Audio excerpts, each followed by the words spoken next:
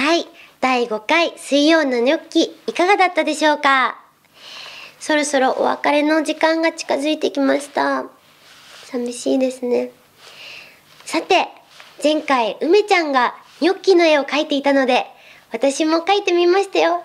じゃーんニョッキです。ここが目で、ここが眉毛です。体もちゃんとありますよ。とこの絵の感想、ぜひツイッターにお寄せください。ということで、来週は、梅ちゃんこと梅沢あきちゃんが MC です。